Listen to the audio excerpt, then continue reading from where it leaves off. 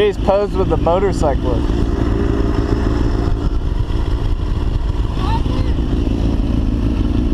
Oh, so lovely. Whoa. You want to have the visor down? Oh, beast.